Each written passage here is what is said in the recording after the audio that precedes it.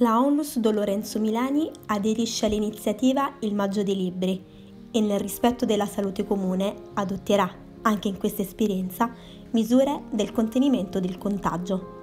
Io leggo a casa.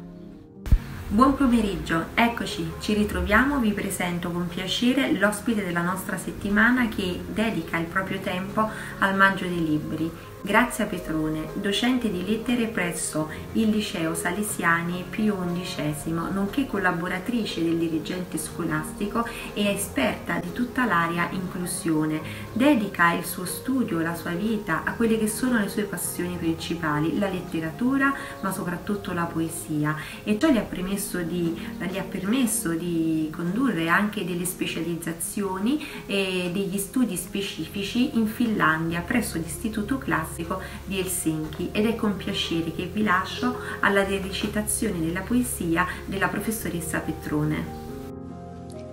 Una poesia di Eugenio Montale tratta dalla sua raccolta poetica Satura. Ho sceso dandoti il braccio. Ho sceso dandoti il braccio almeno un milione di scale e ora che non ci sei è il vuoto ad ogni gradino. Anche così è stato breve il nostro viaggio. Il mio dura tuttora. Né più mi occorrono le coincidenze, le prenotazioni, le trappole, gli scorni di chi crede che la realtà sia quella che si vede. Ho sceso milioni di scale dandoti il braccio, non già perché con quattro occhi forse si vede di più. Con te le ho scese perché sapevo che di noi due le sole vere pupille, sebbene tanto offuscate, erano le tue. Questi versi sono dedicati alla moglie di Montale, Drusilla Tanzi, e rappresentano, sottolineano l'importanza eh, della donna nella vita, nella quotidianità del poeta che si raffigura attraverso un gesto un po' cavalleresco. Le tende un braccio, è un gesto che evoca amore, tutto il profondo rispetto che Montale nutriva per, per sua moglie. I due eh, vengono dipinti eh, come due uomini che hanno sceso milioni di scale.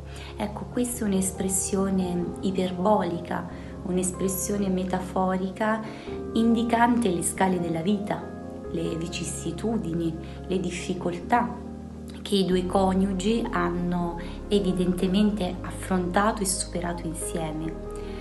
Eh, Drusilla Tanzi viene mh, rappresentata con estrema tenerezza da Montale, eh, viene ehm, rappresentata come una donna molto saggia.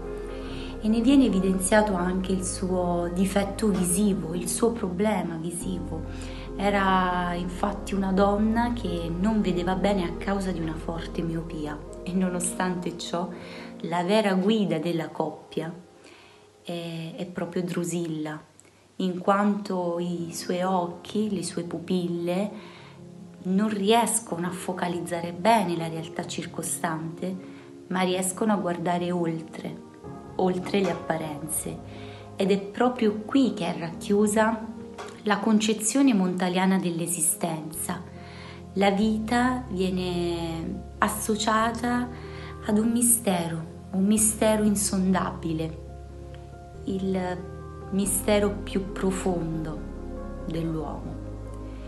Non ci resta altro che vivere la vita stessa, viverla oltre la superficie, fino in fondo, per poter scoprire questo meraviglioso mistero.